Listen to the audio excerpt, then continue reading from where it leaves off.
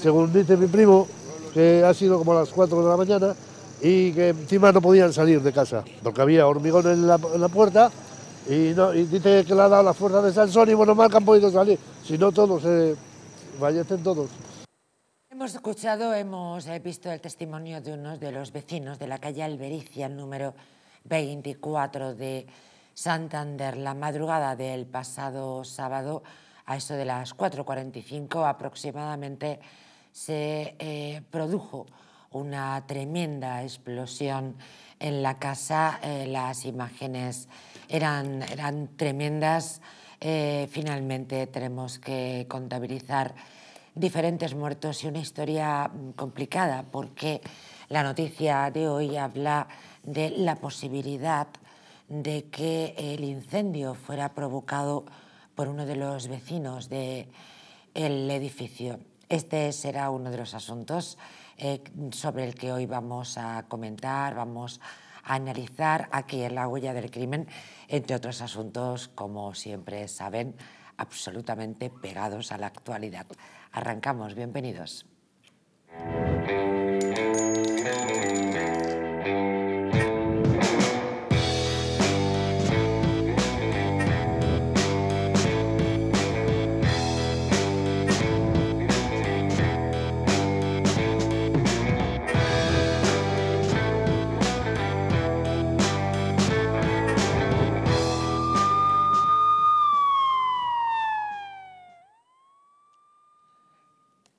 Bienvenidos a este lunes, hoy con Pepe Bonet. Pepe, buenas noches. Hola, buenas noches. Bienvenido hoy con Miguel Sánchez. Miguel. Hola, buenas noches. Buenas noches, bienvenido. Iba a hacer un divertido juego de palabras sobre el sentido de la generosidad de Miguel Sánchez. Llega hoy y dice, sí, acabó la miseria. Esta mañana he estado con no sé quién, éramos cuatro y ha dicho dos porras para cuatro. Sí, acabó la miseria. No puedo evitar contar las cosas que cuentas a micrófono cerrado. Así ha sido, pero te advierto que no lo digas y es lo primero. Claro, efectivamente. Y... Claro, efectivamente. Pero bueno, sí que es cierto que hoy me he sentido generoso y ha habido porras para los cuatro. Porra. Estábamos tomando café. Hemos tenido que partirlas en dos. Pero ha habido porras para Se acabó todos. la miseria. Se acabó la miseria, me ha, me ha encantado. Eh, tremendo el, el accidente, bueno, el accidente, el siniestro de esta pasada madrugada en, en Santander. Eh, la alcaldesa mm, da algunos datos sobre también cómo han esperado para comunicar pues las, las noticias en algunos casos tremendos, porque había que comunicar fallecimientos, también como se han decretado un tiempo, unos días de, eh, perdón, unos días de luto en Santander. Hemos esperado hasta el momento en el que los familiares más directos lo han conocido eh, de mano de sus familiares y no nuestra, que nos ha parecido lo más oportuno y lo hemos coordinado así entre, entre todos. Y eh, en el Ayuntamiento de Santander decretaremos tres días de luto oficial pues, para poder manifestar esa solidaridad a todos los vecinos y a todos los familiares. ¿Cómo recibisteis la noticia? Ahora analizaremos efectivamente cómo pudo eh, producirse ese incendio. Luego creo que al día siguiente otro en Vicálvaro. Eh, tremendo, ¿eh? Llevamos una racha mala de, de este tipo de siniestros. La verdad es que eh, eso nos hace ver y nos hace pedirles a ustedes que tengan especial cuidado. Especial cuidado porque está llegando el invierno y a la hora de encender calefacciones, eh, estufas y demás, eh, podemos eh, cometer algún fallo y poner en peligro nuestra vida y la vida de los demás. En este caso, ya ven ustedes que el derrumbe ha producido, entre otras cosas, tres muertos. Y estando de acuerdo con lo que ha manifestado la alcaldesa, eh, sí es buen momento de decir eh, que habría que homenajear a esos vecinos que con su ayuda ha servido para eh, salvar la vida a dos, a los dos hijos del matrimonio, las dos hijas en este caso, Luego una vamos de a nueve y otra luego, de 18 luego años. vamos a ver, sí, creo que luego vamos a ver efectivamente a esa persona que ayudó a salvar la vida a unas criaturas, alguna de ellas salió con eh, quemaduras, estado complicado, pero bueno, afortunadamente en este momento parece que los heridos pues están evolucionando de manera positiva, pero es desgarrador, la verdad, las imágenes. Sí, y además es que eh, lo que parece cierto es que ha sido una explosión de gas. Lo que ahora desconocemos todas las circunstancias, pues no sabemos si ha sido gas natural, ha sido propano o ha sido Butano. eh, butano. He escuchado butano. Si ha sido butano, Pero vamos, no me hagas mucho caso, lo he leído bueno, en algún puede, sitio. eh, Da igual, ¿eh? porque eso se produce un embolsamiento y ante cualquier encendido de una llave o lo que no sé es por qué dicen que posiblemente haya sido provocado por este señor.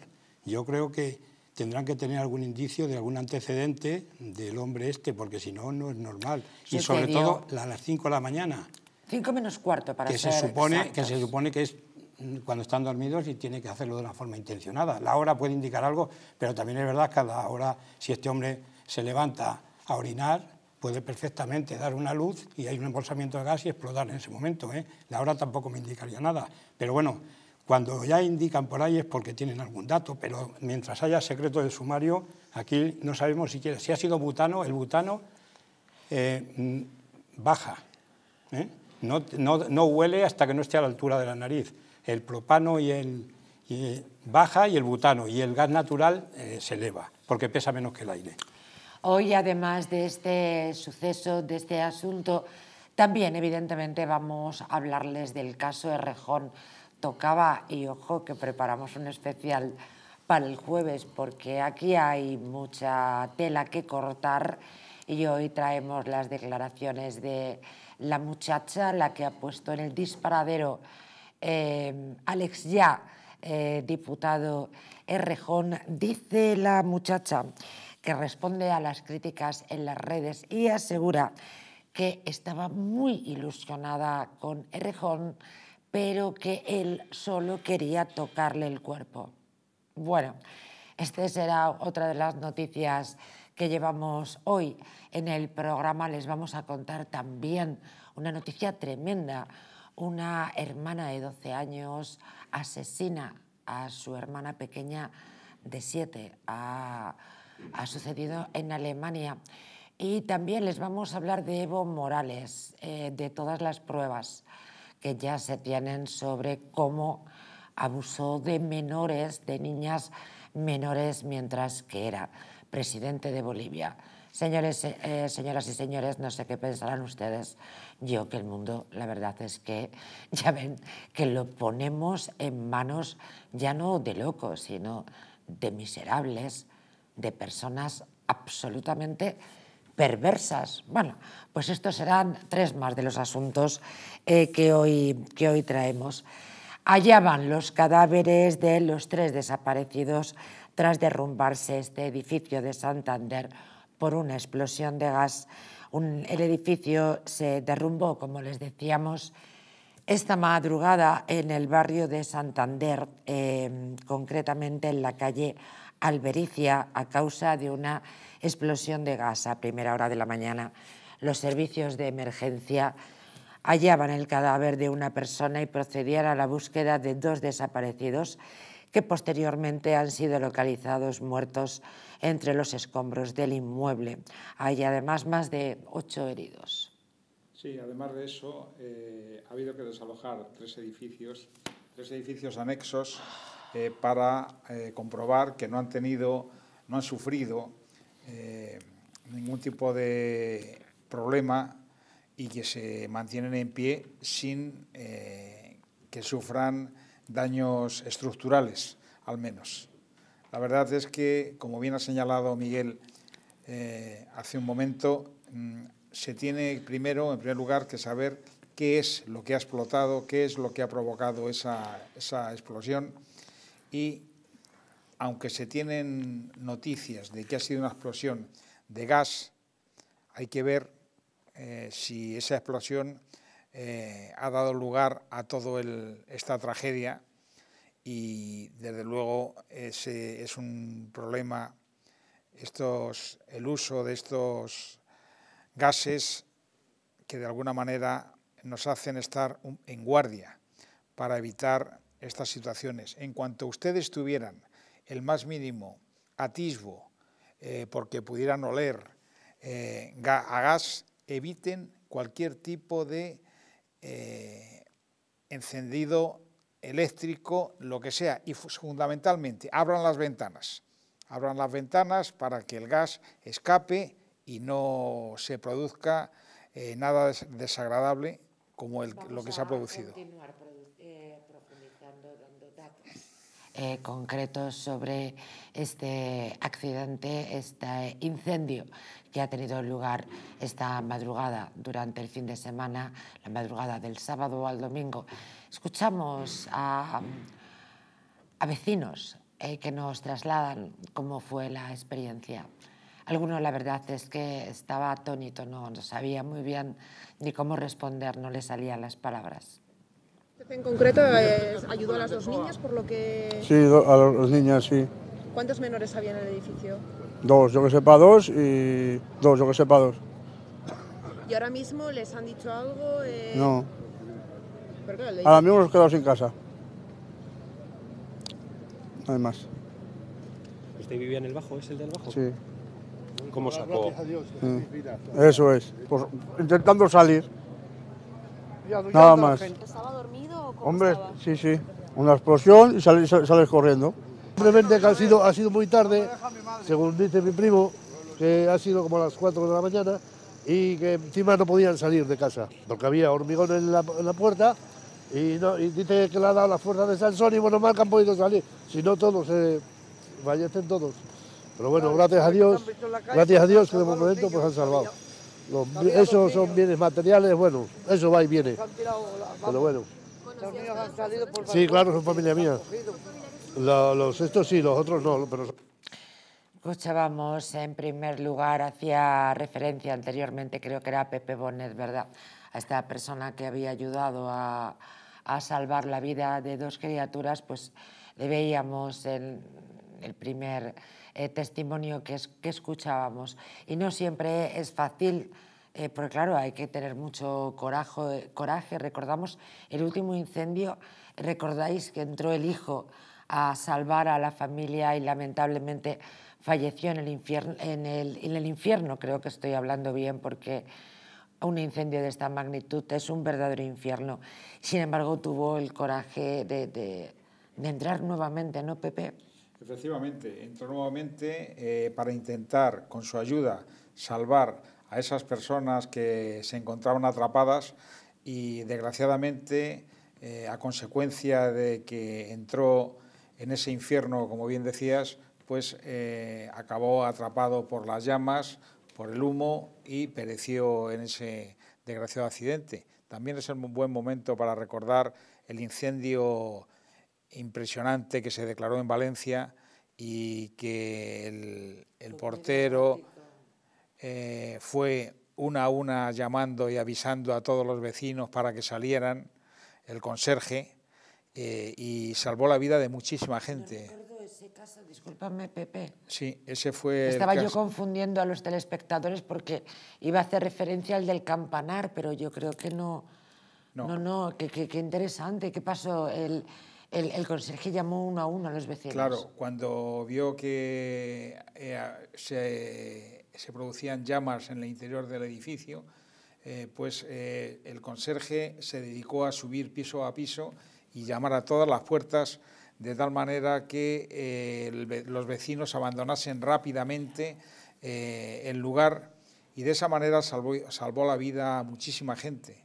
Ese fue un accidente ocurrido allí en Valencia y, y desde luego eh, es un ejemplo de solidaridad, de valentía, de arrojo y sobre todo de saber, en ese caso, porque era un empleado de la comunidad, cuál era su posición y qué es lo que debía de hacer. El edificio este fue de Valencia, pero fue por una, un, el tendido eléctrico, no tiene nada que ver con este, que ha sido una explosión de gas. En este, tener en cuenta que era el edificio pequeño entre dos grandes, que se, se ha derrumbado, eran dos plantas solamente, Y mí- ¿Esto ha jugado en su favor o en contra, por Hombre, tu experiencia? Lógicamente a favor de los dos edificios que tenían más consistencia que no han, no han caído. El que ha caído ha sido el pequeño, que además tenía dos plantas y por eso hay ocho heridos nada más. Si no, imagínate los que hubiera podido Y tres fallecidos, que, que es un Tres drama fallecidos terrible, que- desde luego. que estaban yo creo que en la primera, en la primera planta junto a, al- a este hombre que es el que supuestamente o ha sido por imprudencia o porque ha sido un accidente o bien intencionado que ha explosionado aquí la, la casa. El, el asunto de, mm, del incendio tiene que valorar policía científica, que es quien tiene que hacer una inspección ocular, ver dónde está el, foco, el origen de, de la explosión en este caso y determinar exactamente. Lo que yo dudo es si van a poder averiguar si ha sido intencionado o fortuito, porque eso es imposible de, de- Es de saber. Es difícil.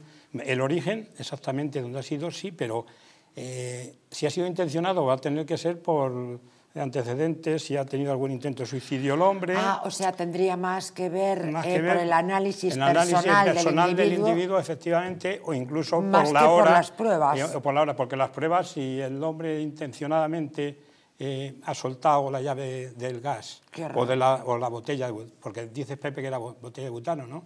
Y ha prendido eh, con un mechero, pues eh, ha explosionado y, Y eso es no se indistinto. puede, y esto no, estamos elucubrando, ¿eh? por Dios. No, pero imagínate Todo que deja- No, no, no, no tenemos eh, datos como para decir que esto Sí, no verdaderamente si es.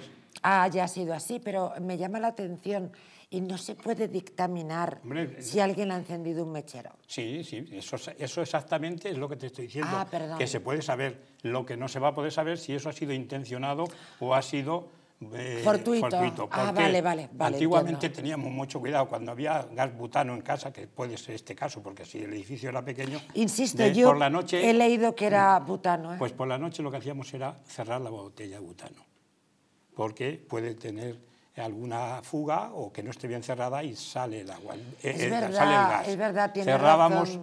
cerrábamos la espita. La espita de la botella de butano. Para estar por la noche tranquilos, porque ocurre que el butano tampoco se huele mucho y ocurría que era la muerte, la muerte dulce. Sí. La muerte dulce, que la gente se bueno, el quedaba- butano y cualquier tipo de gas. Sí, pero bueno, el butano... El gas, el gas central. El butano, eh, como hemos dicho, va de abajo arriba y va llenando la habitación. Y por eso cuando estaban dormida la gente se quedaba eh, dormidos, la, la muerte dulce, y morían en- por, intoxicación de gas.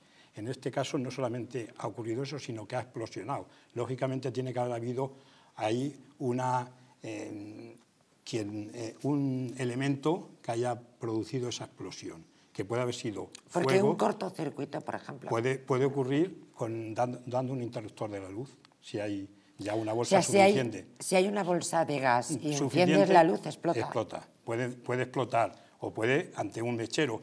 Pero si el hombre, imagínate, vamos a hacer un supuesto, porque como está el secreto de sumario, aquí no sabemos lo que Bueno, ha ocurrido. tenemos los datos de la noticia, pero la cogida con pero, pinzas. pero efectivamente, vamos a suponer que el hombre hubiera tenido algún antecedente ya porque haya intentado, ahí los investigadores pueden decir, bueno, pues puede haber sido intencionado. Pero imagínate que el hombre se ha levantado porque tenía necesidad de ir al servicio y ha dado la luz de la cocina porque ha ido a beber un vaso de leche y ha explosionado y no, y no tiene nada que, de intencionado. O ha sido al revés, a las 5 de la mañana, y a las 5 de la mañana es difícil a lo mejor que el hombre ande por, por, la vida, por casa, pero sí, también puede levantarse, ¿no? Pero a las 5 de la mañana también es raro que él vaya allí a- con el mechero a explosionar la, la botella de butano. ¿Por qué? La tiene que haber dejado mucho tiempo antes que el, el gas vaya saliendo y que llene la habitación para luego... O sea, tiene que haber una bolsa de Una bolsa gas suficiente con- para- consistente. consistente. O sea, no vale que se haya salido un poquito de gas. Efectivamente. La botella de butano no explota. ¿eh? Hay incendios donde se prende toda la casa y la botella de butano queda intacta. Lo que explosiona es, es cuando el gas sale y se queda embolsado en la habitación. Comprendo. Carlos García Barret, muy buenas noches. Hola Carlos, buenas noches. No escuchamos a Carlos. Vamos a ver, compañeros, por favor, si podemos recuperar esa comunicación con Carlos García Barret, con el que, con quien pondremos punto final a esta noticia con la que abrimos este, este Hola. incendio tremendo este pasado sábado en Santander. Ha dejado tres víctimas. Sí, compañero, recuperamos a Carlos García Barret. No sé si quiere Pepe Bonet poner la guinda, poner punto final a... Vamos a, ver si recuperamos a Pepe. Pepe. Digo, Carlos García Barret, perdón. Carlos. Hola, ¿me? Sí, no escucho bien. Hola, Carlos. Ahora sí. ¿Qué tal? Encantado, hombre. Perfecto. Buenas noches. Hola, muy buenas noches, Carlos. Estamos poniendo ya punto final a este suceso tan tremendo y efectivamente estamos dando vueltas sobre qué ha podido suceder. Parece ser, comentábamos a nuestros Sí. telespectadores, que la noticia de hoy es que, bueno, ese incendio, mm, pues oye, podría haber sido provocado. Claro, vamos a ver. eh, bueno, en principio lo que tenemos siempre aquí es, una investigación pericial en la cual pues, se debería determinar, eh, no sé si lo habéis hablado antes o no, eh, cuáles son las causas del incendio. Evidentemente saber desde dónde tuvo, dónde fue el objetivo para, para ser de magnitud. Y bueno, en principio pues, em, pues podría decirte que normalmente cuando hay una investigación por parte de los bomberos, normalmente suele ser así, pues se debe de saber de quién es la responsabilidad. No te podría decir más nada porque no sé exactamente, acabo de entrar en el programa, qué parte habéis hablado o no. Eh, ¿Me que haya sido Perdón. intencionado, ¿qué sabes? Eh, no lo sé, la verdad que no lo sé. No, no estoy al. Vamos, no, no, no, no llevo el hilo exactamente de. Acabo de entrar y no llevo exactamente el hilo, no te podría comentar. De acuerdo, pues eh, Carlos, muchísimas gracias por estar con nosotros. Un, un saludo. Gracias, buenas noches. Cambiamos de asunto. Un juez de Sagunt envía a prisión al dueño de un bar por violar a dos camareras. Oigan, una de ellas era menor.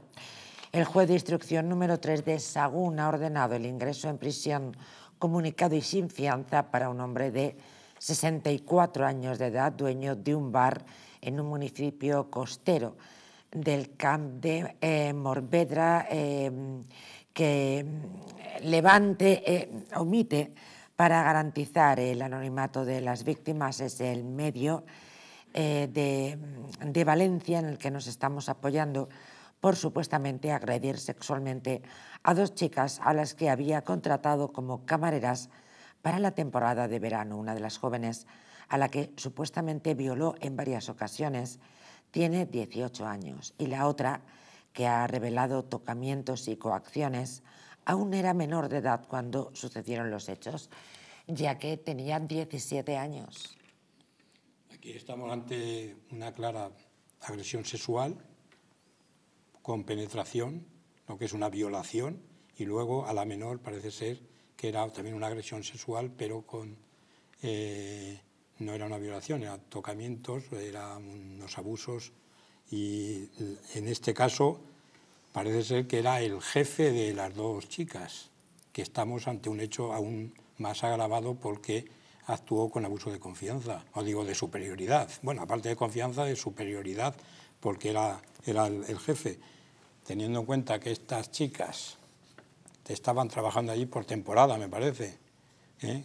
necesitarían ese trabajo, las explotaba no solamente laboralmente, sino a, luego a una de ellas la decía, me tienes que acompañar, que tenemos que hacer la compra, me tienes que acompañar en el coche, hacer un recado, y esos momentos son los que aprovechaba para abusar sexualmente de ella. Total, un elemento de mucho cuidado que donde tiene que estar es encerrado en una celda de dos por dos y no salir en mucho tiempo. Eh, La joven explica en su denuncia que los hechos comenzaron muy poco después de que el ahora encarcelado la contratase como camarera para reforzar la plantilla en la temporada estival, ya que el establecimiento se encuentra en la zona de playa del municipio. El presunto violador empezó a molestarla casi desde el principio con actitudes de control y de acoso que fueron derivando hacia esas agresiones sexuales. La joven ha detallado varias violaciones que se produjeron bajo amenaza e intimidación y que incluyeron el acceso carnal, Pepe. Efectivamente, se trata de dos delitos eh, contra la libertad sexual y delitos que se dan demasiado a menudo.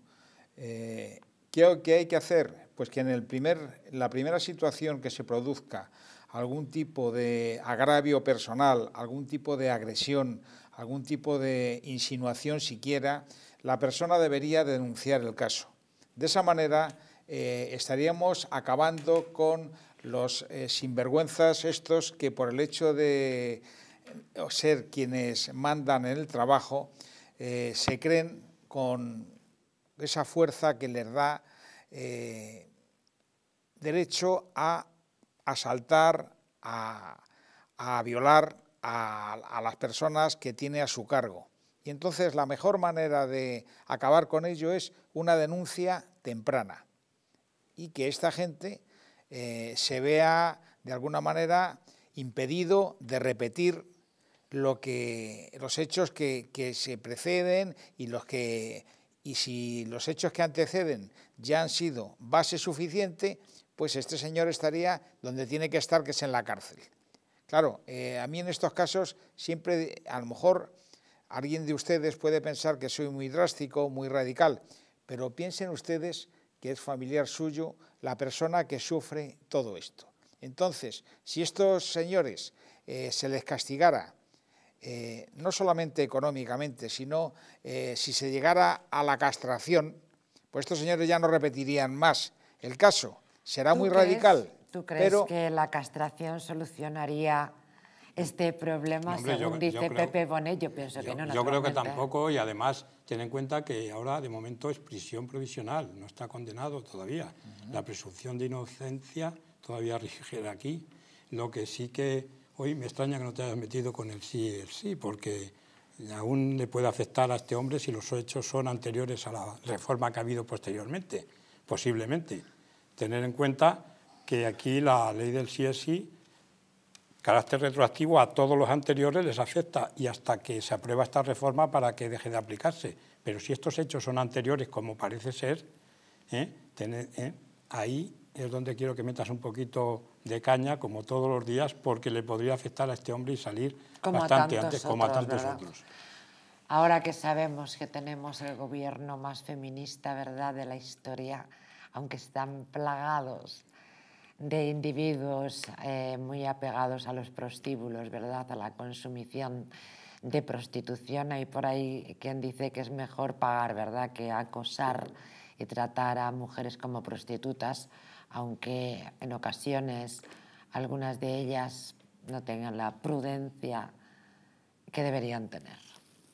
Efectivamente, pero a lo que yo me refiero, la castración química, eh, ¿A qué te refieres, Pepe? Me eh, evitaría... Si lo, si lo, pide, si lo pide el reo, sí, sí puede Sí, sí, claro, si lo pide el reo. pero lo pero tiene es que, que, pedir el reo en este país. Sí, efectivamente, pero es que yo entiendo que no debería ser el reo, aunque el reo no lo pidiera, esta gente tendría que recibir ese tipo de castigo. Y entonces los demás, enterados de lo que les ocurre al que realiza este tipo de actuaciones, pues cogerían miedo y no volverían a hacerlo. Pero claro, como aquí, tengan ustedes en cuenta el tiempo que va a tardar, se ha tardado, de hecho, en denunciar el caso. Este tío ha estado suelto. Eh, ¿Habrá sentencia firme? Efectivamente, pero ya saben ustedes lo que ocurre, que al final estas cos cosas se solucionan mediante, vamos a hacer que no se acerque a la víctima en unos cientos de metros. ¿Qué ocurre después?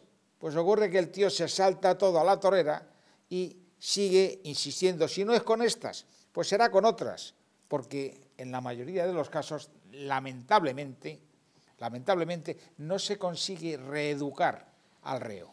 No hay reinserción posible, es verdad, cuántas veces les hemos contado, ¿verdad? A uno de estos eh, individuos les das un permiso por buena conducta que anda, que no que no tiene gaitas, ¿eh? por buena conducta, y resulta que salen a la calle y vuelven a violar. Muy cruel esto. Más cruel, eh, cruel es llevarse la vida de la gente por delante. ¿Te gustaría perder un par de kilos? Si es así, te voy a dar un consejo. Si quieres volver a utilizar aquellas prendas que tanto te gustaban, Naturhaus te trae la forma más rápida y la más eficaz de hacerlo. Fíjate que en tan solo dos días podrás bajar de peso gracias al Pack Express.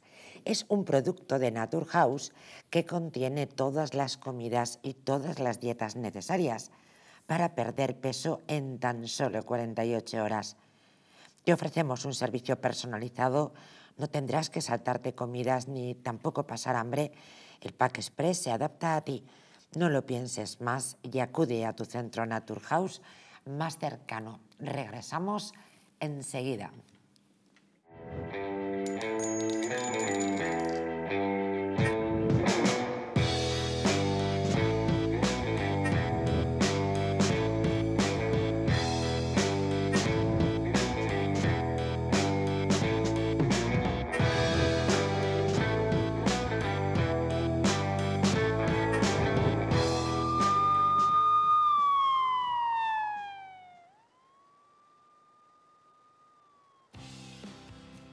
Perder esos kilitos de más?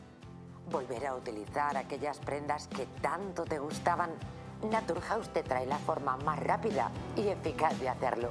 En tan solo dos días podrás bajar de peso gracias al Pack Express, un producto de Naturhaus que contiene todas las comidas y dietas necesarias para perder peso en tan solo 48 horas. Te ofrecemos un servicio personalizado. No tendrás que saltarte comidas ni pasar hambre. El Pack Express se adapta a ti.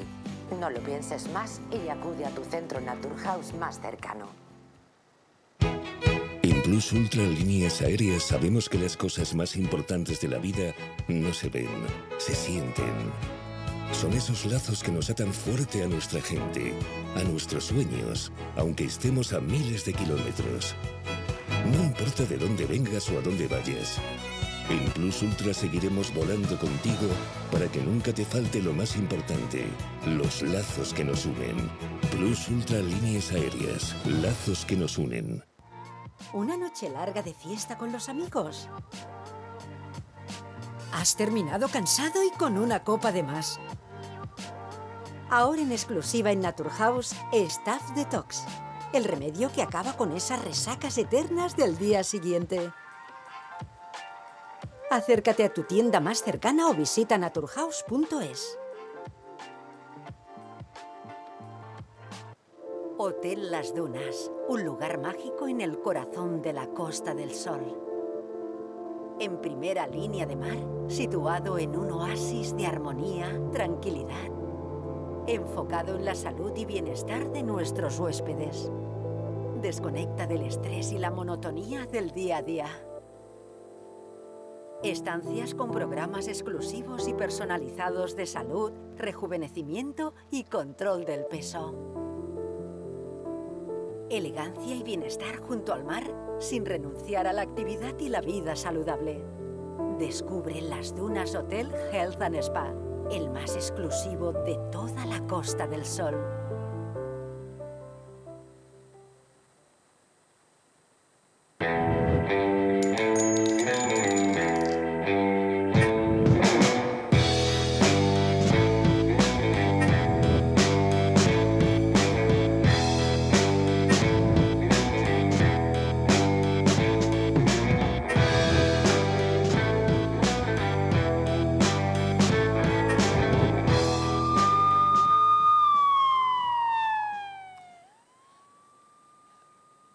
Abrimos este tramo del programa y lo hacemos con Íñigo Errejón. El jueves pasado llegaba la noticia y la verdad es que obligaba a un buen número de programas en todas las emisoras de radio, programas de televisión, canales eh, de YouTube, cualquier comunidad, cambiar el contenido. Eh, la verdad es que nos sorprendió a todos, aunque algunos decían que ya lo sabían.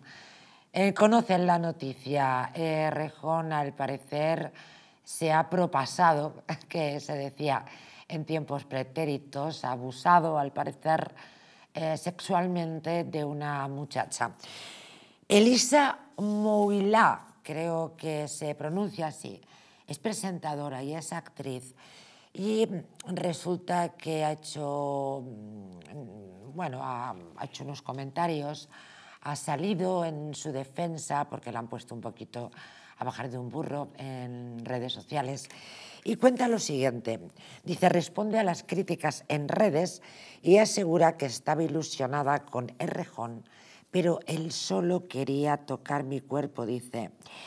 La actriz fue la primera mujer en salir del anonimato y denunciar públicamente este jueves que ella había sufrido acoso sexual por parte del ya portavoz Iñigo Errejón, el portavoz de, de Sumar, ex portavoz y que lo denunciaría también ante la justicia. Pues así fue. Eh, presentó ante la Unidad de Atención a la Familia y a la Mujer de la Policía Nacional una inmediata denuncia, la primera en firme que existe ya contra el exdiputado Errejón y que le han llevado a sufrir numerosas críticas en las redes sociales por cómo actuó aquella noche. Así en dos patadas vamos a resumir que el individuo, Errejón, em, iba, estaba presentando su libro, que esta presentadora y actriz pues, se conocían desde hacía un año y se intercambiaban mensajitos en redes sociales. Mm, podemos decir que tonteaban en redes, vaya usted a saber.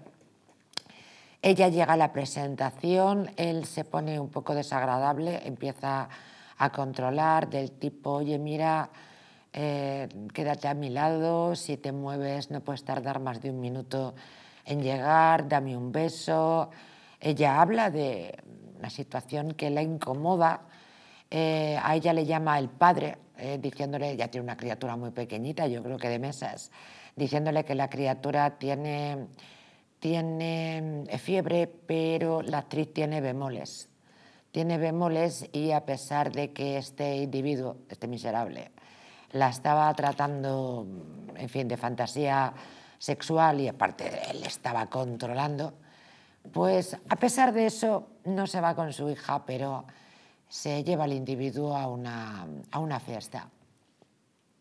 Y allí, al parecer, durante seis metros, pues aguanta que Rejón la eche contra la pared y después la meta en una habitación y después él se saque el miembro viril. Bueno, en fin, Ala, que Errejón es un miserable, un maltratador, un violento, como la mayoría de esta gentuza, no hay ninguna duda, pero ¿qué hace una mujer yéndose a una fiesta con un individuo como Rejón? ¿Estamos locos? No entraré en cómo se deja a una criatura con fiebre para irse con un chulo. Al parecer, este es solamente un caso de los muchos que hay, porque ella misma eh, reconoce que tiene lo que ha manifestado una serie de mujeres a las que trataba de igual modo, de igual manera. No, no, es un impresentable, es basura, vamos. Es verdad que todavía no se ha admitido la, a trámite la denuncia porque... Pero da igual, si no es por esto, es porque era Vox Populi que este individuo, que Errejón, que es el estandarte, el defensor de la mujer, de su libertad y de castigar la agresión sexual, eh, todo el mundo sabe que, ha ha tenido estas prácticas. Otra cosa es que no se admita la denuncia, otra cosa es que el juez considere que la denuncia no ha lugar, porque efectivamente el proceso tiene moles. ¿eh? pero pero el individuo Vamos, es un perverso de narices. La, denuncia parece de un programa de Gila, ¿eh? Sí, ¿verdad? pero sinceramente. pero también es verdad lo que está diciendo, es el cinismo de esta gente que predica una cosa y luego hace la contraria. Sí, pero vamos a ver, vamos a empezar. Y escucha, este hombre tiene solamente, oficialmente tiene una agresión a un individuo al que le pegó una patada en sus partes. Tenéis que tener, tenéis que tener en cuenta eso, que es violento, y luego esta denuncia concretamente. Que esta denuncia... Es de 2021. Vamos a no, recordar. No, pero vamos la a ver. denuncia es actual, pero los, hechos, los hechos de 2021. Inmediatamente, que has dicho tú, inmediatamente no, tres años y medio en formular la denuncia. Yo si estoy de instructor en ese atestado, aunque me ponga colorado... No, inmediatamente después de, salir, a contarlo. Pero eh, yo si soy, soy el instructor del atestado, cuando eh, formula esa denuncia, aunque me ponga la cara colorada, lo primero que tengo que preguntar es cómo vienes a las 12 de la noche, después de tres años y medio, a formular la denuncia que está hecha a las 12 y media de la noche. Sí, fuerte. Algo estaba preparado ya para, de alguna manera, mm, y aunque se lo merezca, destrozar la reputación de este hombre. Y luego, con independencia de eso, yo le preguntaría lo primero, ¿cómo después de tres años? Aunque luego ella diga, yo denuncio cuando quiera y me ponga colorado, pero mi obligación, y yo supongo que el juez, es lo, primero que tiene que preguntar. Y luego todas las circunstancias de esa denuncia, que parece un poquito de programa de, de, Gila o de la comedia, de decir, oiga, está narrando unas cosas desde las 8 de la tarde hasta las 4 de la mañana y no tiene mm, lo suficiente em, valentía para decir al muñeco este, porque parece un muñeco, ahí te quedas.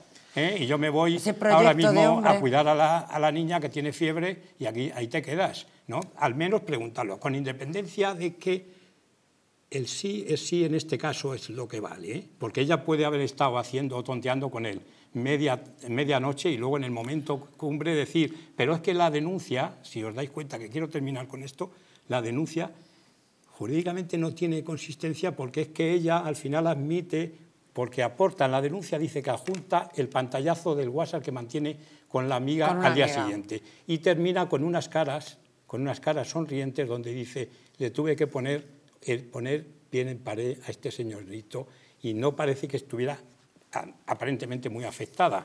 ¿eh? En ese momento, en ese momento y, luego, y, luego, está afectada a los tres años y medio, que puede estarlo, ¿eh? pero da la circunstancia de que el juez debe de indagar algo, porque no hay, no hay nada concretamente. ¿eh? Hay un dato que os quiero dar. El viernes pasado, en esta casa, en El Mundo al Rojo, eh, entrevistamos, eh, compartió unos minutos con nosotros Albert Castillón, analizando algunos asuntos, y habla, nos habló de esta mujer a la que dijo conocer, y al parecer nos comentó que en el caso de que no hubiera dimitido,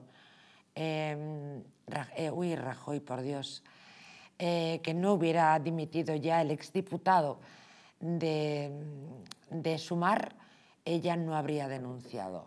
Esto es que acabo de recordar esta información que se dio el viernes por la tarde en esta viene casa. A confirmar que da la sensación de que esto estaba de alguna manera preparado. Dimites o formulamos la denuncia, porque aparecer de repente en jefatura a las doce y media de la noche o cuando se formule la denuncia y contar esto, porque al final él desiste, no, hay, no, no fuerza la situación.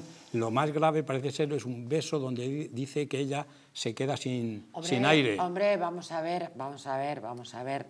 Según esta, esta, esta presentadora y esta actriz, influencer y no sé qué más, eh, vamos a ver, eh, efectivamente se habla de ese beso en el que ella literalmente dice que le metió la lengua en la boca hasta ahogarla. Bueno, y después habla... No, no, y después habla que la empujó en la cama, que él se sacó el miembro, el miembro viril y que le empezó a manosear los senos. En fin, desde que te mete la lengua en la boca hasta la, la, sección de me sacó el, el miembro viril, pero ¿cómo se puede estar con ese individuo? ¿Pero por qué no lo manda al carajo? pero, ¿En qué estaba pensando esta chica? Perdón, y ahora las feministas que me tachen de machista y demás eh, estupideces, no se puede la gente poner en riesgo de esta manera. Y en cualquier caso, él es un cerdo, pero ella, que no hubiera consentido, vete a casa hermosa. Pero ella puede consentir todo, perdona, pero ella puede consentir todos los actos hasta un momento que diga que no. Y bueno, eso, tiene un nombre muy feo. Y si dice que no, ahí hay una agresión sexual. Lo que pasa que en ese momento, cuando él se saca el miembro viril, él, le, dice, le dice que no y ella, él, le hace caso y la lleva a casa. No, por eso no continúa. Pero, Por, pero por eso estamos diciendo, por eso estamos diciendo que es muy débil esta denuncia y que naturalmente, si vemos el desarrollo de cómo suceden los hechos, uno piensa, chica, no te pongas no te pongas en riesgo, no te pongas en... Que eres un cerdo, no hay duda. que, que, que, hay muchos cerdos en su mar, no hay ninguna duda. Que el gobierno tiene eh, como socios ya no solamente asesinos de ETA, sino a cerdos eh, agresores también.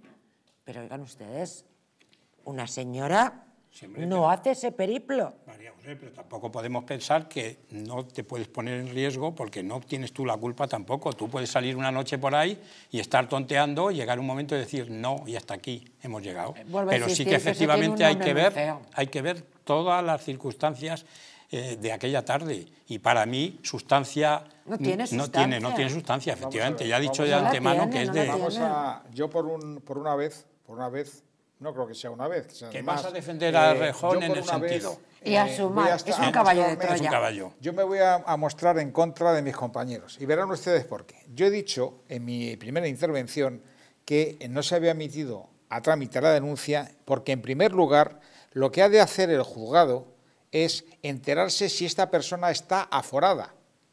No basta con la información eh, de la prensa o demás que ha, de- Hombre, ya lo que ha pedido, dejado. juez, Pepe, Perdón, que ya lo ha pedido. Perdón, aunque lo haya pedido, lo primero que procede, lo procedente en este caso, judicialmente hablando, es que el juzgado hable y solicite a la- al Congreso de los Diputados si esta persona se trata de un personaje aforado o no. Pero, claro pero, que sabemos que Pero lo ha pedido. pero, si ya, acta. pero si ya lo ha pedido y además ha entregado la entregado. Es que hay que hacerlo así. pero, pero mira, te voy a decir más, Pepe, te voy a decir más. No Yo nos creo- engañemos, dejarme hablar.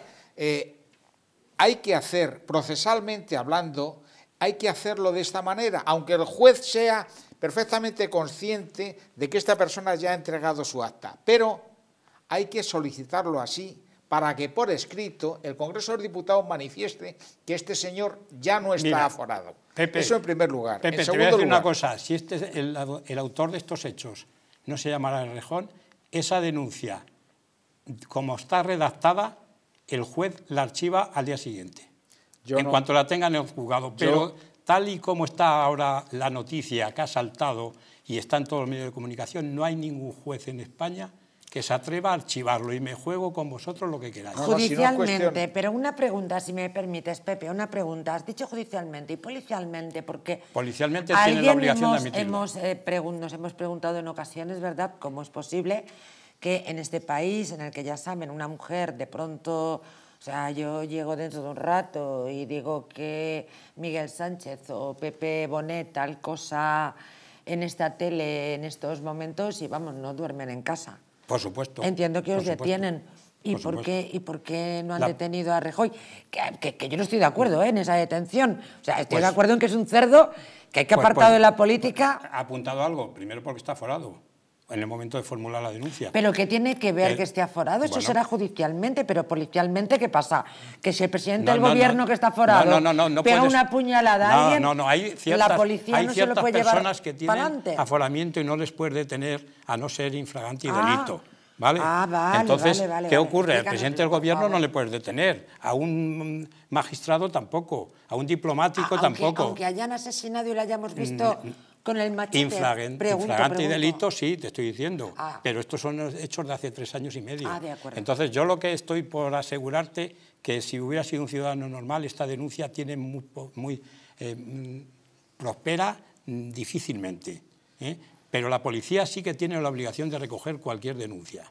El juez es el que tiene luego la facultad de lo archivo o continúo. En su denuncia, la actriz cuenta el episodio que vivió en la casa de una amiga que daba una fiesta donde se sintió violenta y cortada por parte de Rejón, quien había eh, tornado a una actitud dominante.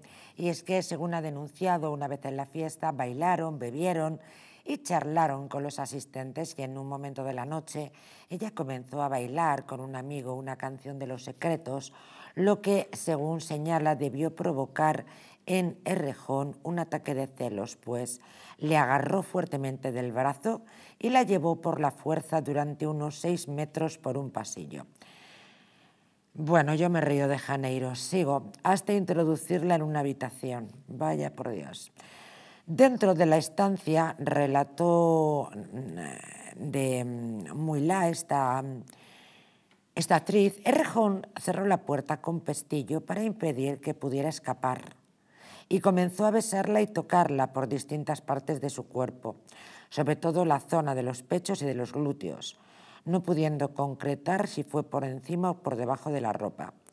aunque recuerda que eh, le llegó a quitar el sujetador mientras le decía frases lascivas como «¿cómo me pones?». Después le empujó sobre la cama, asegura la actriz, y se sacó su miembro viril, comenzando a lamer la zona de los pechos. Todos estos hechos, deja claro, ocurrieron sin su consentimiento. Y sin su consentimiento se va con este tío que le deja claro quién es, de una presentación de un libro, ella se lo lleva a una fiesta de unos amigos, después se pone violento y termina en una habitación. Bueno. Ella puede ir con este señor donde le plazca, porque es mayor de edad. Lo que eh, se dice, se dice que eh, el político debe de ser una persona que eh, tenga un comportamiento ejemplar que de es alguna un cerdo, manera. Que es un Pero miserable, este señor, que es este un señor, además de ser un cerdo y un miserable, es un un tío egocéntrico. claro. Es una persona egocéntrica, es una persona que eh, déspota, es una persona que abusa del poder que tiene.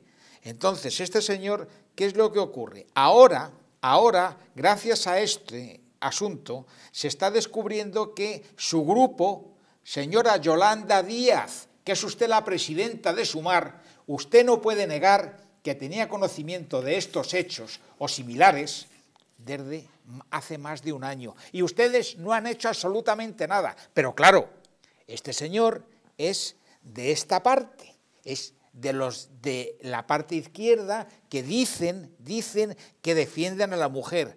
Lo defenderán exactamente igual que defendía a la mujer con lo que hizo Irene Montero, con el sí es sí, ¿recuerdan? Que Nos soltó a llevamos violadores. este asunto el próximo jueves.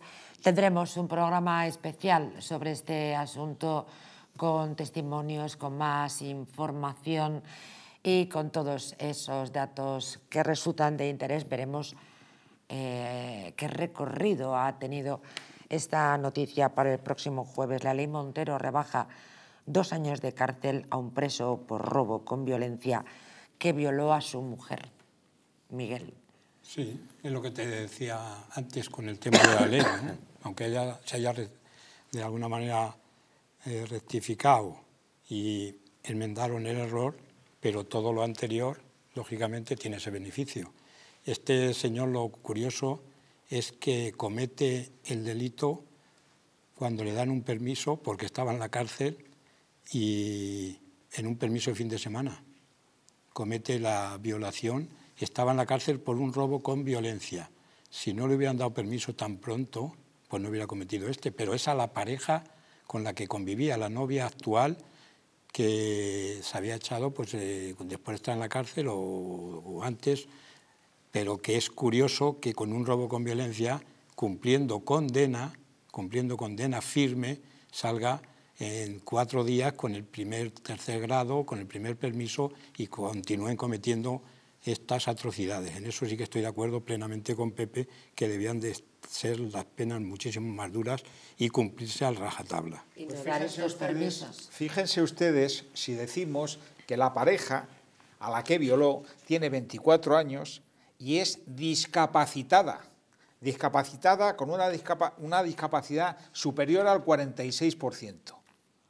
Hay que tener en cuenta también en este caso que a, a la niña que tenían en común, eh, este, este individuo, este salvaje, este cretino, porque no se, se le puede llamar de todo, le daba a la niña cerveza. No se sabe con qué fin, pero le daba cerveza. ¿eh? Y la obligaba a sentarse en el carrito cu- cuando el carrito de bebé estaba mojado. Esto es la actitud de este señor. Esto ocurre porque el juez de vigilancia penitenciaria le da estos permisos. Y este señor, en lugar de pudrirse en la cárcel y cumplir íntegra la condena, pues no, sale a la calle. ¿Sabes cuándo le ha caído por esto? Porque hay condena ya de... Siete- siete no, años. Nueve años por la violación y tenía seis años condenado en el 2016 por el robo con violencia. Si hubiera, eh, le hubieran condenado a la máxima por el robo con violencia, pues no estaría en la calle. Pero teniendo en cuenta quién es la víctima, que es un delito agravado por la circunstancia de la víctima, que nueve añitos, nueve añitos, cuando cumple eh, la mitad de la pena. estamos hablando dos tercios, este en cuatro o cinco años está en la calle otra vez. ¿eh? Claro. Después de haber violado a una persona con, disminu eh, Con disminuir la discapacidad. discapacidad, ¿no? que la palabra ahora eh, la quitaron la Constitución, ¿no? Sí. con discapacidad. Pues nueve años, en cuatro años, incluso en tres, están disfrutando de los permisos de fin de semana. Claro. Después de finalizar la relación sexual, ella, esta persona con eh, 46% eh, por ciento de discapacidad, lo acompañó a comisaría para firmar obligación impuesta por el juzgado de vigilancia penitenciaria al concederle el permiso de salida de cinco días al que estaba haciendo constante referencia Miguel Sánchez. Posteriormente volvieron a casa ya que habían quedado por la noche para tomar algo en su domicilio con una pareja de amigos a los que habían, eh, con los que habían coincidido en prisión. Durante la cena ella se mostró triste, pero no comentó nada. Cuando se fue la pareja de amigos volvieron a discutir y ahí sí la víctima llamó a su madre para que la viniera a buscar abandonando el domicilio en compañía de su hija. A este, concretamente, sí que puedes meterte con Irene Montero otra vez, que hoy no te has metido, porque le rebajan dos años. Sí, señor. Se le aplica la ley de sí es sí. La ley Montero. Métete un poquito, que hoy no Es te he visto... Es que eh, yo hubiera dicho eh, una serie de casos que afectan a todo este tipo de personajes eh, y que gracias a la ley Montero están en la calle. Y si no, lo van a estar mucho antes de lo que deberían estar. ¿no? Pero es que, claro, eh, teniendo en cuenta que, que eh, quién puso a Irene Montero, me parece a mí que le puso una persona que se dedicaba a decir que le gustaría azotar a Mariló, que se llama Pablo Iglesias. Se llama Pablo Iglesias. A la presentadora, a la ¿Cómo se popular presentadora de ¿Cómo se televisión? Marilo Montero. Montero. Bueno. Estupenda Marilo Montero. No te digo por la coincidencia de los apellidos. La A ver coincidencia, si se equivocó. vete tú a saber que como estas personas presuntamente tienen unas eh, fantasías sexuales un poquito perversas, eh, parece ser, no opto presunto, pero que le va el sadomaso al proyecto de hombre rejón. Exactamente, y practican lo que se llama el bondage, el BDSM, que para quien no lo sepa, es ese tipo de juegos eh, de dominación en el que uno hace de amo y la otra de sumisa. Que está claro que eh, aquí el, el amo es el, el bebote en transición a hombre. Efectivamente, es así. Y entonces, pues bueno, eh, estas cosas ocurren. ¿Se acuerdan ustedes eh, que hemos citado a Irene Montero y a quien coloca a Irene Montero? Pues otro que está muy en la jerga, eh, está muy en el momento, eh, el señor Ábalos colocaba a sus amigas, entre comillas, furcias, presuntamente, bueno, las colocaba, no tiene nada que ver las el colocaba. No, no, tiene nada que ver, Pepe. No tiene La nada, no tiene vamos nada a- que ver. Hablando castellano, Vamos a eso no tiene recuperar nada el que ver, Tiene pinta de putero. Hablando, Esa- claro, hablando pero es- castellano. es que estamos en Es- las da el mismas, prototipo entonces. de, de Ábalos, el otro, el Tito Berni, Sí. mm, dan la... No, el no se vayan del TEPA. Condenado el joven que atacó con una navaja. Miren qué cosa más tremenda. Un abuelo eh, a puntada de navaja. El abuelo llevaba a su nieto encima. Un juzgado de lo penal de Palma ha condenado a cuatro años y tres meses de prisión al joven argelino en situación irregular que el pasado, lo estoy haciendo aposta, sí, no es que esté jugando con mis inflexiones de voz. No, estoy diciendo que es argelino y que está en situación irregular en España, ¿de acuerdo? Sí, lo estoy diciendo. Que el pasado 10 de abril atacó con una navaja a un hombre mientras sujetaba a su nieto en brazos cuando fue sorprendido robando en su coche en el Raval. La sentencia a la que ha tenido acceso Última Hora, que es el medio en el que estoy basando esta información, contempla la expulsión de España del delincuente por un plazo de nueve años. El procesado deberá indemnizar a la víctima en 5.115 euros por las lesiones. Bueno, en fin, ¿qué hago? ¿Me tiro al suelo de la risa? Mm, ¿Qué hago? No sé. Pues eh, a lo que quieras, tírate del, al suelo de la risa, pero esto es así.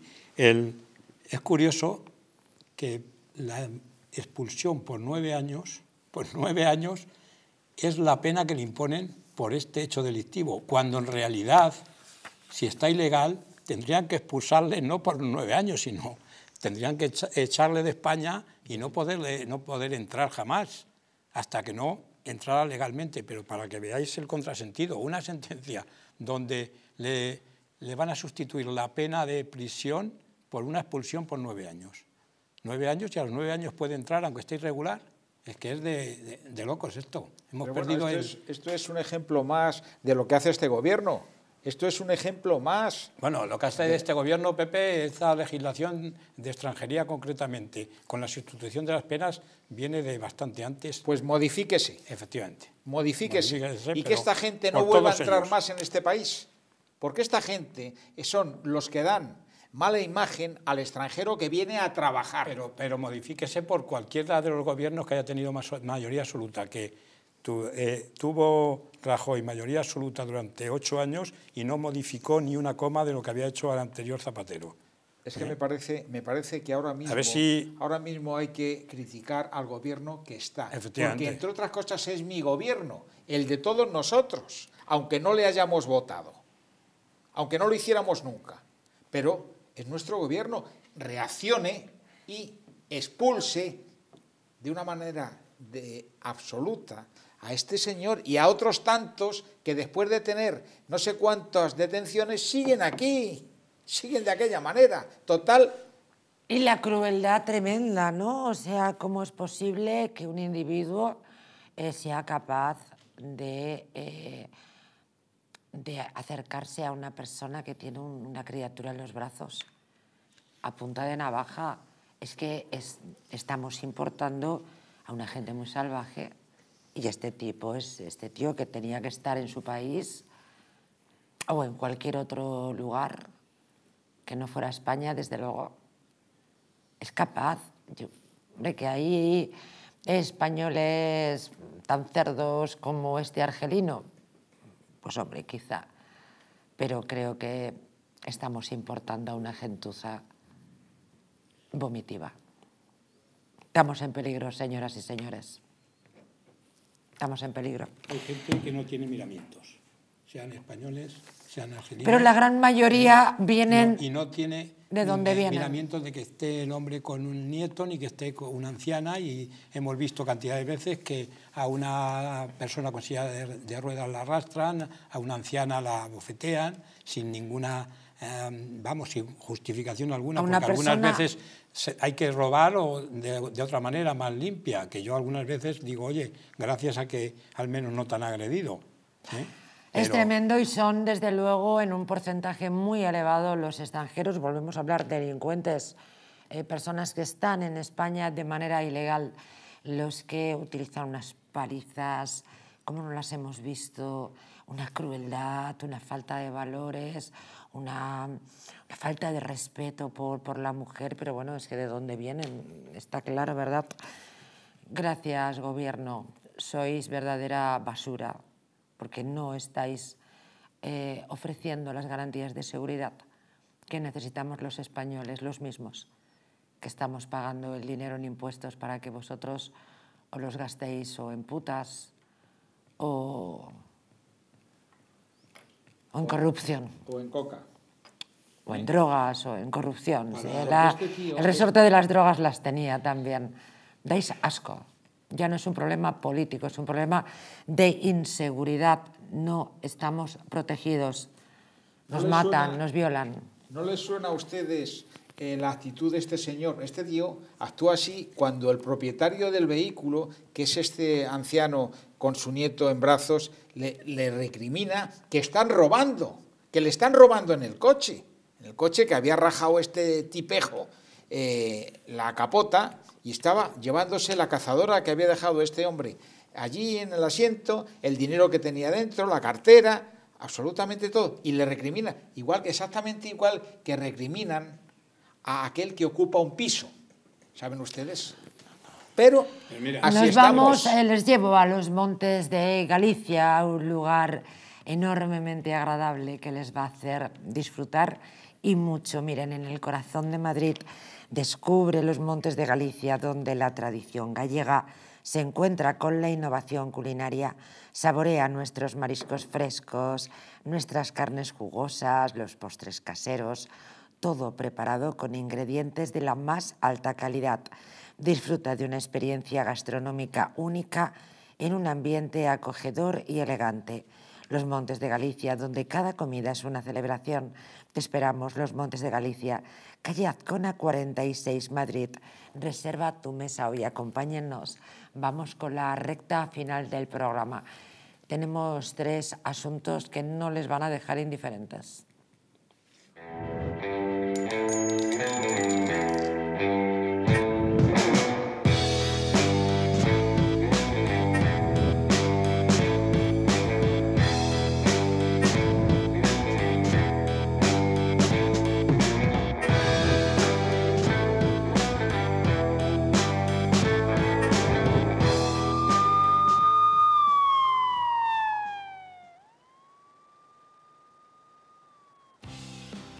¿Te gustaría perder esos kilitos de más? ¿Volver a utilizar aquellas prendas que tanto te gustaban? Naturhaus te trae la forma más rápida y eficaz de hacerlo. En tan solo dos días podrás bajar de peso gracias al Pack Express, un producto de Naturhaus que contiene todas las comidas y dietas necesarias para perder peso en tan solo 48 horas. Te ofrecemos un servicio personalizado. No tendrás que saltarte comidas ni pasar hambre. El Pack Express se adapta a ti. No lo pienses más y acude a tu centro Naturhaus más cercano. En Plus Ultra Líneas Aéreas sabemos que las cosas más importantes de la vida no se ven, se sienten. Son esos lazos que nos atan fuerte a nuestra gente, a nuestros sueños, aunque estemos a miles de kilómetros. No importa de dónde vengas o a dónde vayas. En Plus Ultra seguiremos volando contigo para que nunca te falte lo más importante, los lazos que nos unen. Plus Ultra Líneas Aéreas, lazos que nos unen. Una noche larga de fiesta con los amigos. Has terminado cansado y con una copa de más. Ahora en exclusiva en Naturhaus, Staff Detox. El remedio que acaba con esas resacas eternas del día siguiente. Acércate a tu tienda más cercana o visita naturhaus.es. Hotel Las Dunas, un lugar mágico en el corazón de la Costa del Sol. En primera línea de mar, situado en un oasis de armonía, tranquilidad, enfocado en la salud y bienestar de nuestros huéspedes. Desconecta del estrés y la monotonía del día a día. Estancias con programas exclusivos y personalizados de salud, rejuvenecimiento y control del peso. Elegancia y bienestar junto al mar sin renunciar a la actividad y la vida saludable. Descubre las Dunas Hotel Health and Spa, el más exclusivo de toda la Costa del Sol.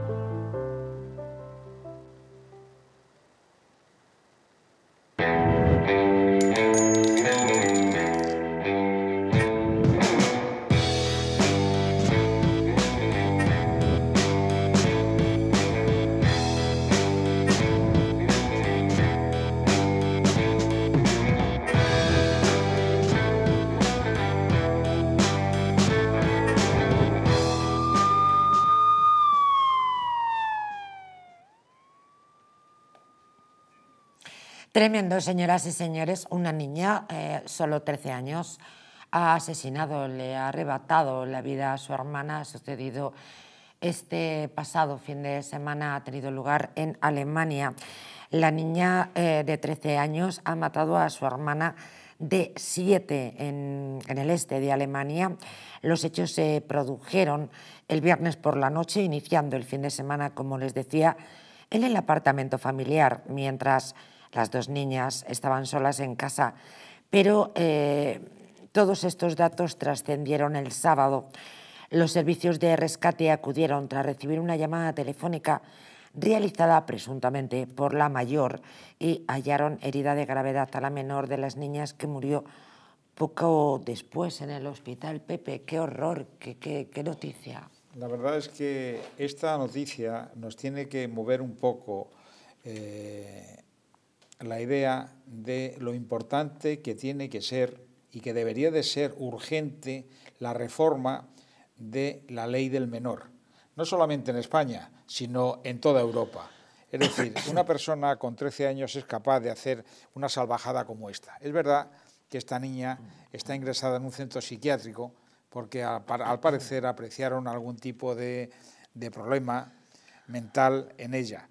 Pero desde luego sí que es momento de que la Comisión Europea, el Parlamento Europeo, determine eh, unas medidas para aplicar a los menores de edad, porque un menor de edad es capaz de acometer una barbaridad como esta y quitar la vida a una menor que ella o incluso a personas de más edad, porque indudablemente no piensen ustedes que hoy, los 12 años, los 13, los 14 años en el año 2024 son exactamente igual que esos mismos años en el año 1990.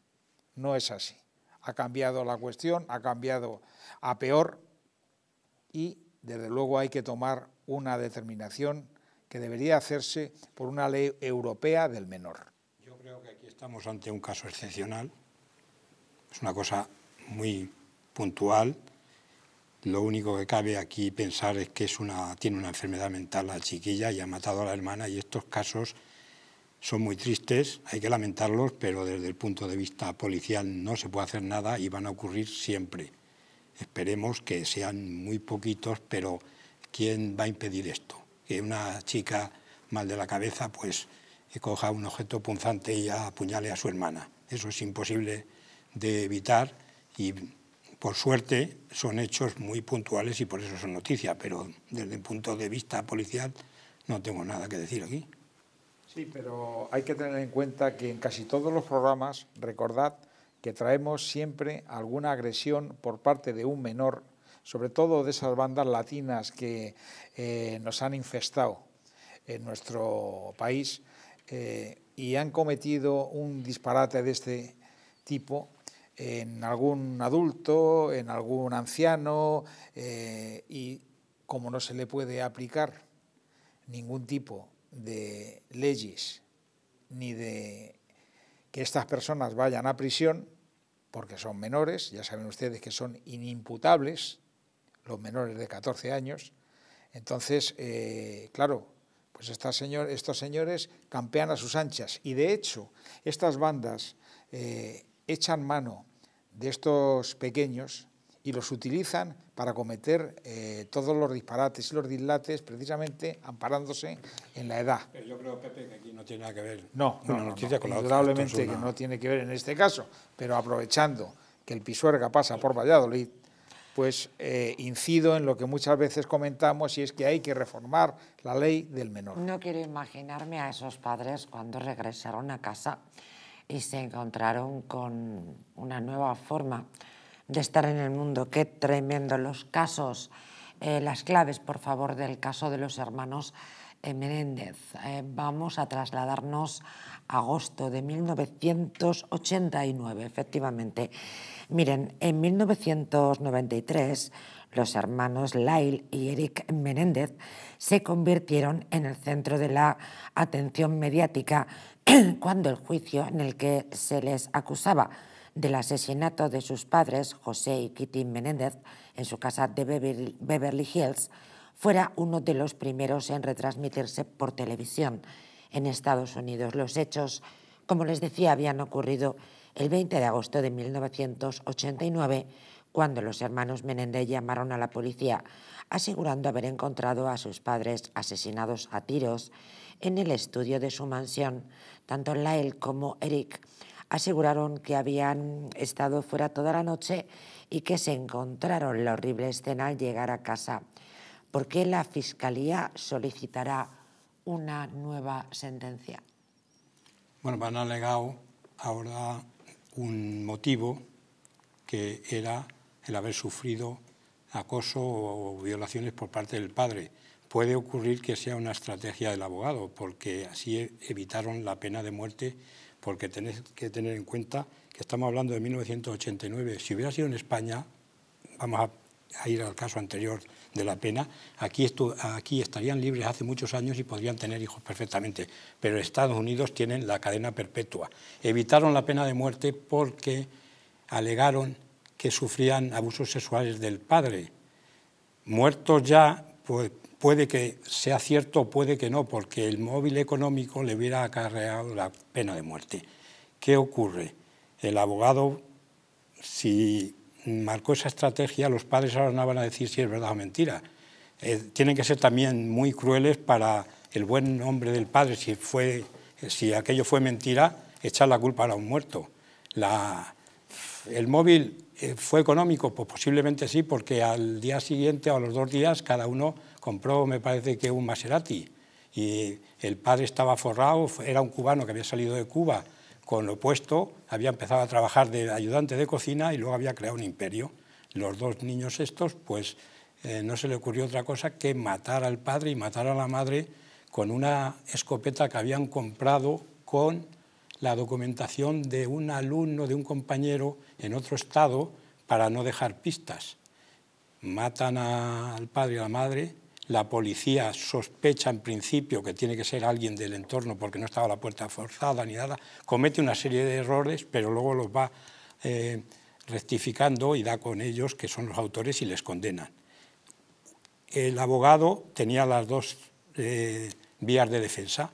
Una, que había una causa porque era por venganza, por haber sufrido los abusos de pequeños, y la otra era por el tema económico se jugaban bien la cadena perpetua a la pena de muerte y optaron por esta, por esta vía. Este ¿Cierto o no? No lo sabemos. Efectivamente, en este caso el fiscal ha encontrado, al parecer, eh, nuevas pruebas que indican que sufrían esos ataques por parte del padre, ataques a, a su integridad y es cierto que también se ha tenido muy en cuenta que estos señores que llevan 34 eh, años en prisión han tenido un comportamiento en la cárcel ejemplar. Entonces eso también habla muy en su favor.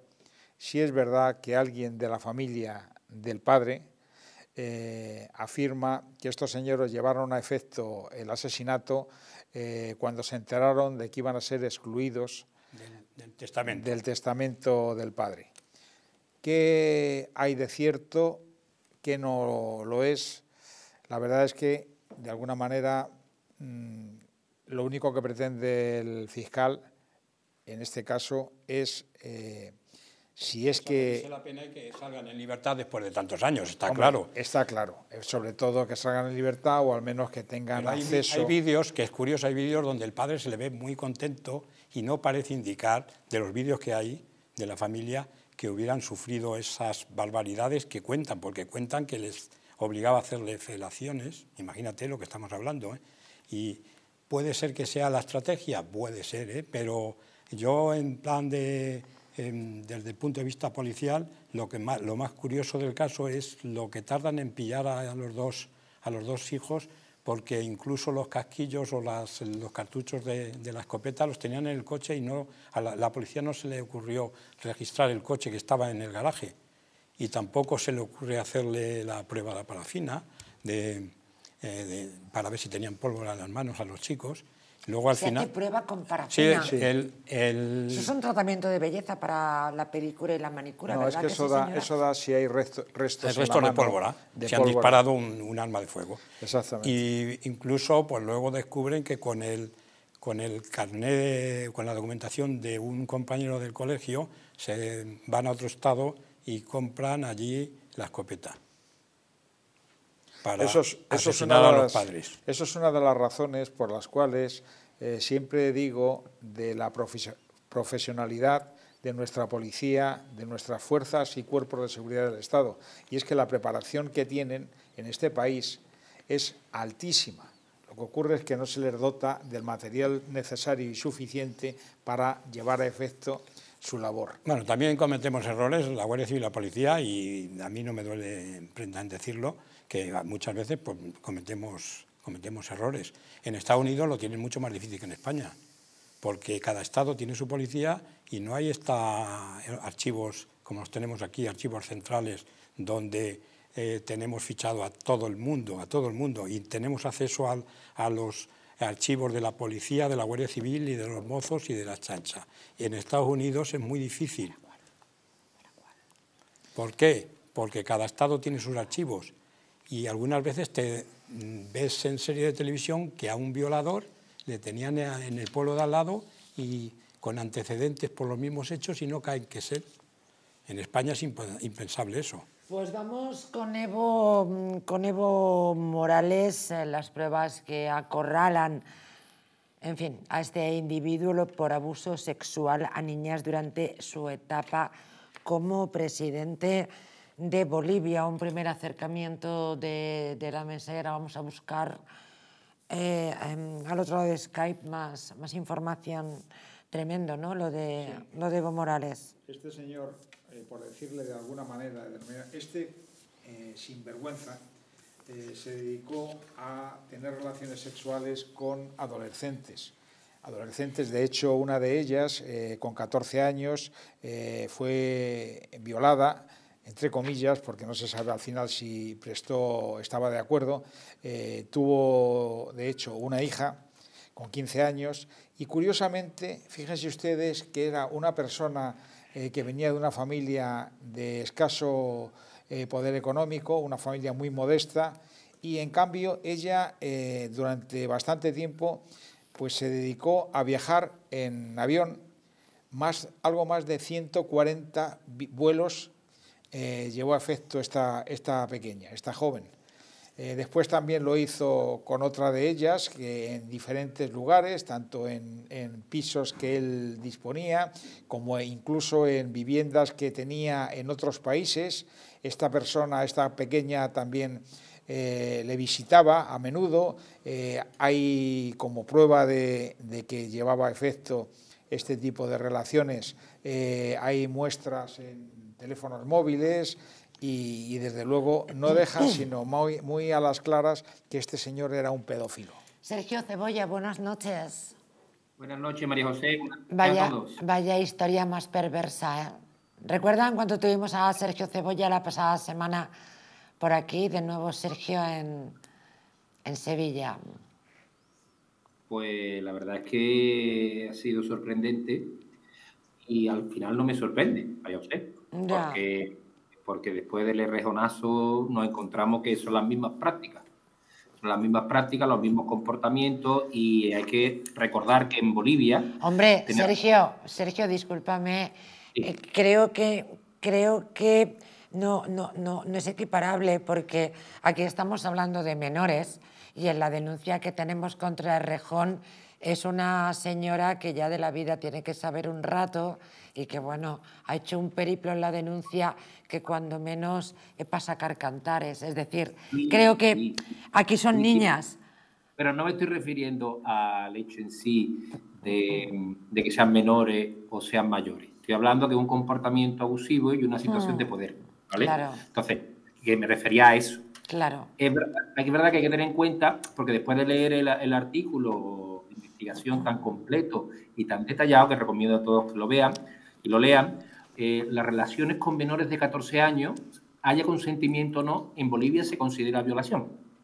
¿Vale? Y te puede caer entre 10 y 20 años de prisión, que es algo que hay que tener en cuenta. Si eres mayor de 14 años, entre 14 y 18, pues estamos hablando, le llaman estupro, ¿vale? Que son relaciones sexuales con un menor entre, entre 14 y 18 años. Solo está permitido si hay consentimiento cuando hay una diferencia de 3 años es decir, 14, 15, 16, tres años nada más de diferencia. Pero cuando hay una situación de superioridad, pues estamos hablando que te pueden caer varios años de prisión. Entonces, lo curioso es que el, artículo de investigación habla de Cindy Saray Vargas Pozo, con el cual tiene un, hijo que está reconocido, y después estamos hablando de Noemí Meneses Chávez. Y, esto es... Eh, que son niñas realmente, Sergio. En ambos casos eran menores, tenían 14, 15 años en los dos casos, ¿vale? Y abusó de su situación, eh, de, aunque fuera consentido, porque los móviles habla de consentimiento, pero eso no es excusa. No, no, desde luego. excusa y, no es una cuestión cultural porque el propio Código Penal de ellos lo, determina.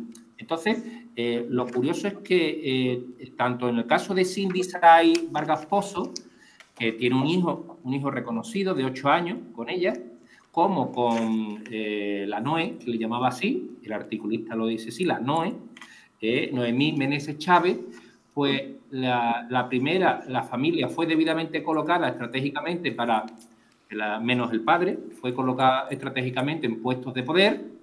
Y en el segundo caso, en el caso de Noemí, fue le tenían puesto un chofer, un chofer para que la llevara y la, y la paseara por, por todos sitios. Además, fue declarado y el propio vehículo fue denunciado el robo y una patrulla, una patrulla de modo, de modo rutinario, la, detuvieron e interceptaron a ella, a una amiga y al chofer. Y fue acusada de un delito de uso ilegal del Estado. El chofer trabajaba por una corporación pública. ¿vale? Esto quiere decir que la tenían, lo tenían a servicio, a servicio. Y fruto de esta intervención, pues todo lo que son los móviles fueron volcados y a raíz de eso descubrieron toda la fotografía, todos los mensajes, todas las fotos, incluso eh, fotografías como haciendo presuntamente daño a esta tal Noemí Meneses Chávez. Así que esto, por lo que yo he podido leer, esto acaba de empezar, María José. Esto acaba de empezar. Brutal. Muchísimas gracias, Sergio Cebolla. Un abrazo enorme abrazo enorme a vosotros también. Gracias, buenas noches. Esto acaba de empezar, dice Sergio Cebolla. Sí, efectivamente, acaba de empezar. Eh, ya verán ustedes, yo no soy rapel, no soy rapel. Pero esto acaba de empezar no solamente en este apartado, ¿eh? ya que habéis tocado lo de Rejón, ya verán ustedes como los de la máquina del fango, ¿eh? que son los de siempre, estos que no gobiernan, ya verán ustedes cómo empiezan a echar tierra encima y verán cómo empiezan a acusar que si hay uno de, derechas, que si hay un diputado, que si hay otro, que si hay un director de periódico, que si hay una persona muy influyente, ya lo verán. A las pruebas me remito. Recuerden lo que les estoy diciendo hoy. Mira que eh, mientras que estaba presidiendo un país como Bolivia, estaba embarazando a una niña de 14 años. Es que, perdonen ustedes, pero es que no doy crédito, estamos, estamos en manos de taraos, de gente perversa, de, enfermos. Tiene que haber, cierta, tiene que haber cierta perversión y luego yo da la sensación de que el poder corrompe. Da la sensación, porque esta gente, tanto unos como otros, parece que llegan al poder y se sienten todopoderosos y que tienen derecho a abusar de quien quieran y como sea, y tener amantes de 15 años o de 14. Lo que decía Sergio Cebolla, en España pasa lo mismo. El consentimiento de una menor está viciado. Es realmente tremendo. A mí no me entra, no me entra en la cabeza, pero desde luego he caído en la cuenta que es que estamos en manos de gente muy sucia. Es que, es que me imagino a, a Errejón con estos comportamientos sadomasos y después dando lecciones o, o, colaborando en que salga adelante una ley o Evo Morales embarazando a una niña mientras que preside Bolivia. Madre mía, Eric Encinas, eh, el Mosu de que novela la realidad del crimen de Cataluña, no podemos dejar que esto sea el salvaje oeste. ¿Quién mejor para hablarnos eh, de esta situación que Eric Encinas? Eric, buenas noches. Muy buenas noches, María José y a los tertulianos. Así es, este mozo... Sí. sí, sí, que decía que es... Eh, eh, es la esencia de una entrevista y que te pasamos efectivamente la noticia donde dice esto no puede ser el salvaje oeste.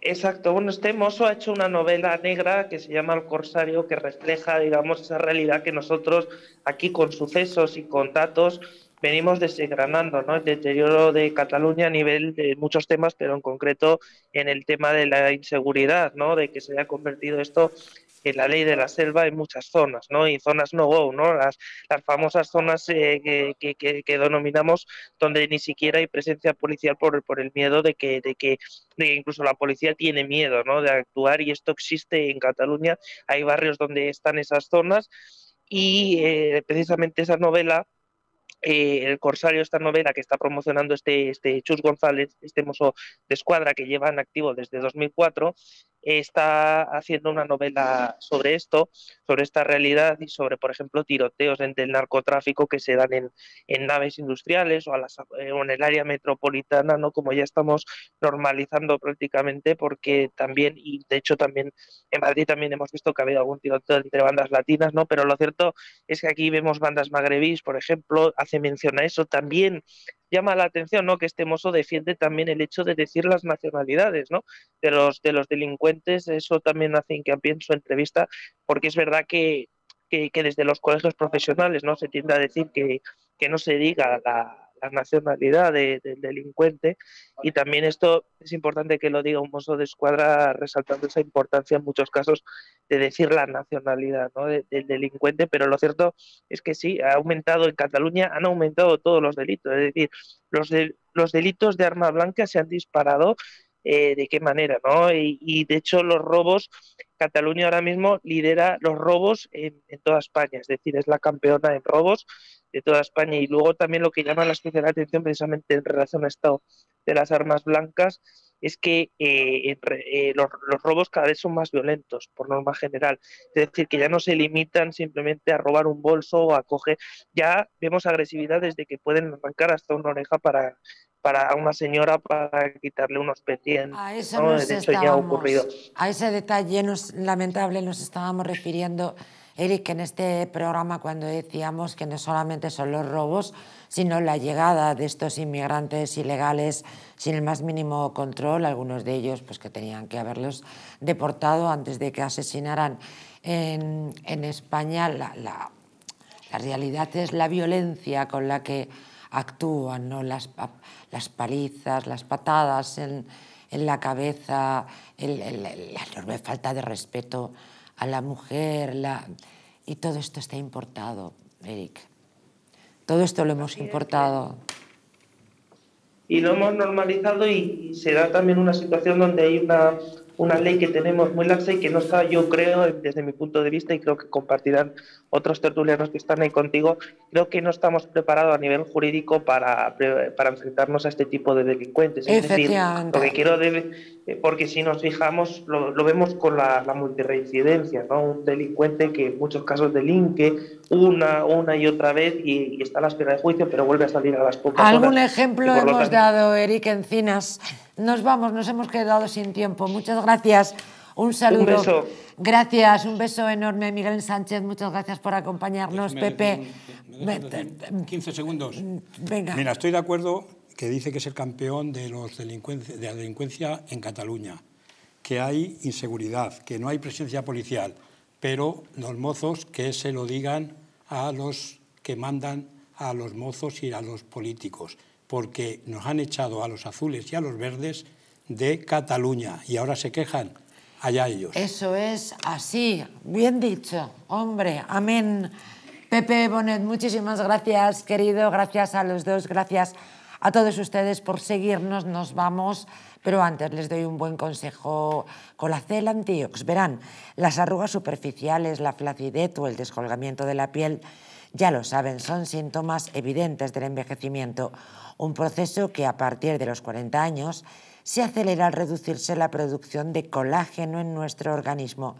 Colacel Antiox de Mundo Natural es un complemento alimenticio que aporta colágeno hidrolizado puro de alta absorción, antioxidantes, además de vitamina C, una vitamina esencial que contribuye a la formación de proteínas de relleno de la piel, como es el colágeno, la elastina, la tropoelastina o el ácido hialurónico. Gracias a su completa composición, un sobre al día de Colacel Antiox produce el mismo efecto que tres envases de otros productos similares. Confía en Colacel Antiox mucho más que colágeno. De venta en tiendas especializadas en el 914 46 0000 y en parafarmaciasmundonatural.es. Buenas noches, señoras y señores. Hasta mañana.